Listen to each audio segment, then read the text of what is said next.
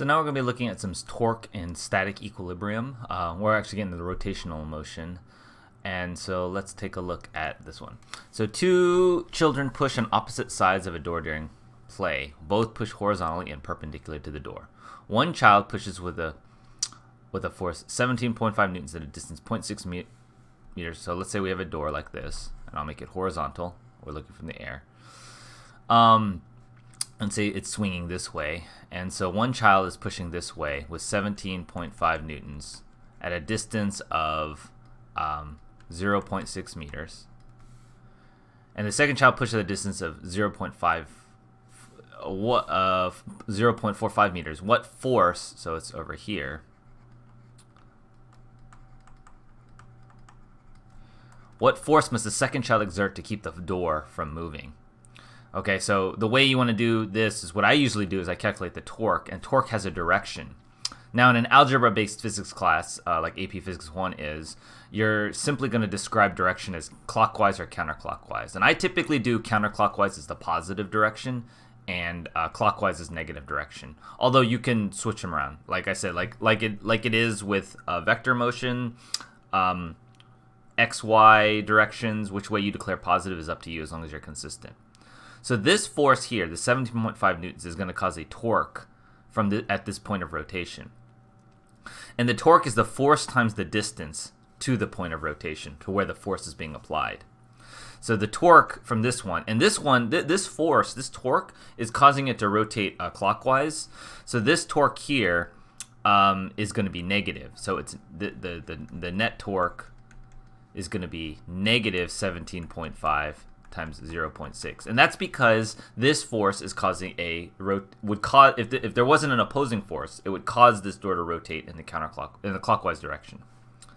This force that the other child is doing is doing a force um, in the uh, that would cause the door to move in the counterclockwise direction. So it's a positive torque F times 0.45 and the net torque here has to be zero because it's not rotating at all and so I can say, I can solve for f. It's equal to 17.5 times 0.6 divided by 0.45.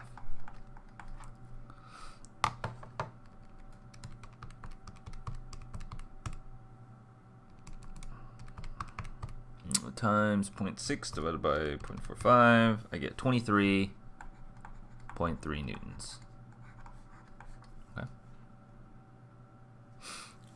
So two children of mass 20 kilograms and 30 kilograms sit balanced on a seesaw with the pivot located at the center of the seesaw.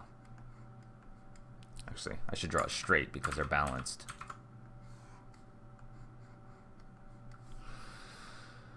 Um, if the children are separated by distance of 3 meters, it means this child here, I got this child here. This child is 20 kilograms. This child is 30 kilograms. And we're separated by a distance of 30 me 3 meters. What distance from the pivot point is a small child sitting in order to maintain the balance? So let's. So what we don't know, what we don't know is the distance from the point of rotation because the in in when you're doing the torques, the point of rotation, you know, this is the natural point of rotation. Um, we would say this distance is x, and if that distance is x, then this distance has to be 3 minus x, right? And those are the distances that I need to set up to do the torques. And again, I'm going to use my notation where um, positive torque is in the counterclockwise direction, negative torque is in the clockwise direction. Now this guy is causing this whole thing to rotate in the counterclockwise direction. So this guy exerts a force downward, right, which is 20 times g, mg. And this guy exerts a force downward, that's 30g. This force is exerting a torque on the um, on the seesaw, and the torque here the net torque is this is 20g times x. Okay, 20g times x. Because uh, because um, the the force the torque the force is already perpendicular to the distance, so you just do this force times this distance here. Okay, and it's a positive torque. Now this torque here is negative because it's causing the seesaw to go in the clockwise direction. So we would say minus 30g times 3 minus x. And because this thing is balanced, the net torque must be zero. Okay, so I could actually divide by g, cancel those out, and that would be fine. So I have 20x minus, distribute the 30, minus 90, plus 30x is equal to 0, or 50x is equal to 90. So x is equal to 9 fifths, which is what, 1.8 meters. Okay, and that's what they wanted, the distance that the small child is from the point of rotation. Person carries a plank of wood two meters long with one hand pushing down on it with at one end with a force F1 and the other hand holding it up. So let me see, carries a plank of wood. I got a plank of wood here. Long hand pushing down at one end with the force F1 and the other hand holding up holding it up at 0.5 meters from the end of the plank. So kind of like pushing up like here. F2. Um, oh, this is 2 meters long, so I should draw this to scale a little bit better. Um, one end with force F1 and the other hand holding at 0.5 meters from the end of the plank with F2. If the plank has a mass 20 kilograms, the center of gravity in the middle of the plank, what are the magnitudes of the forces? So what's a little confusing about this one is actually where they're saying it's 0.5 meters from the end. So let's say it's probably here. It's more realistic. So if this thing whole thing is 2 meters, right? This whole thing is 2 meters. Then this distance here would be 0.5 meters. It kind of makes sense that he would be holding it like that. He could be holding it like from this end, but I think it would be kind of kind of weird. So we have to look at all the forces that are acting on it. We have F1, we have F2, and we have force of gravity here. Okay, but when I do when I do so so this is this is everything. Um, what are the magnitudes of these forces? I you know what you want to do is you want to pick a point of rotation. There's a couple of ways you can do this, but if I don't want it to, um, I'm holding it. It's not rotating, right? It's not falling over. I'm going to pick this as the point of rotation, the center point.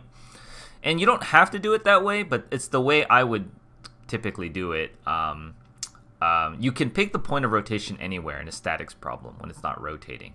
So I'm going to do it this way first and kind of show you how it would look. So if I pick the point of rotation as the as the where the gravity goes in, then I look at each force and I decide how much torque they're contributing. Now F1 is causing a torque um, in the counterclockwise direction, so that's a positive. So that's F1 times 1 meter. And then F2 is causing a torque that goes in the uh, clockwise direction, so it's minus F2. And if this whole thing is 2 meters, and this is the center, this is 1 meter, this is 0.5 meters, this is uh, 0.5 meters from the center here. So this is 1 meter away, this is 0.5 meters. Now FG uh, doesn't exert a torque because its distance is 0. I would do plus Fg times 0, which would be 0. And so this just simply equals 0. So I'm going to have F1 plus 0.5 F2, oops, minus 0.5 F2, minus 0.5 F2 is equal to 0. So um, I don't have enough to solve this, so what, what else do I need to know? Well, I do know that the net force has to also be 0 because it's not accelerating up or down in the direct in that direction either. So um, the upward force is F2 minus F1 minus Fg has to equal 0. And I actually know what force of gravity is, right? So I can solve for, say, F2. F2 is equal to mg plus F1. I can plug that into here now, and I have F1 minus 0.5 mg plus F1 is equal to 0. And so this is F1 minus, so it's 0.5 F1 is equal to uh, 0.5 mg, bring to the other side 0.5 mg. So F1 is equal to mg, and F2, and mg, by the way, is 20 times 9.8. So that's 196. And F2 is half, uh, or is double of F1. So F2 would have to be because from this equation, F1 is equal to 1 half of F2. So this is 2 times 196. 392 newtons. Okay, so those are the two forces. There's another way you could have done this problem, and I'm going to kind of show you um, down here in like this red color, is if I instead picked different points of rotation, I could have solved for it just the same. So what I could have done instead is I could have picked this as my point of rotation. I'm going to pick the point of rotation here. Okay, and the relevant distances are 0.5 and 0.5. And now I look at each force and I see what torque they're exerting. Well, if I pick this as the point of rotation, this force, F2 doesn't exert a torque. So I would get F1. Um, well, let's do our, our similar positive, negative. Right? F1 is causing a um, counterclockwise. So I'd be F1 would be positive torque. F1 times 0.5 F2 doesn't exert any torque because it's acting at the point of rotation, and FG is acting at uh, the center of mass of the plank, which is 0.5 meters from the point of rotation. But it's causing a, count, a clockwise rotation, so that's a negative torque. So if I solve this, F1 is just equal to Fg. Because the 0.5s will cancel. I could just divide out the 0.5s. This is 196 newtons.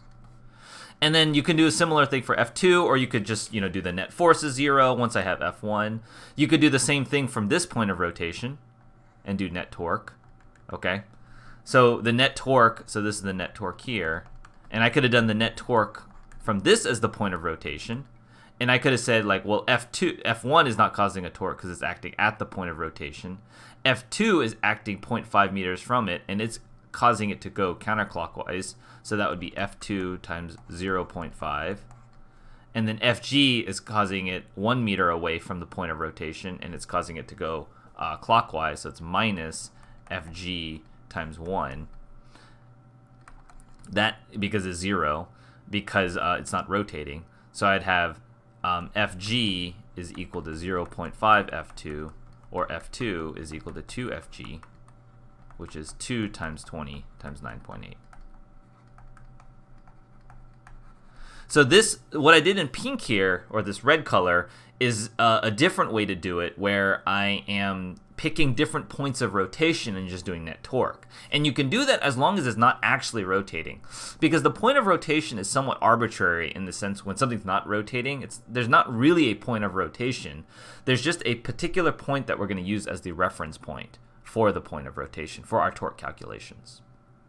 Thanks for watching. If you enjoyed this video, I go through a lot more of these exact kinds of problems with much longer videos uh, on my website. It's entirely free. Check out the link in the description below.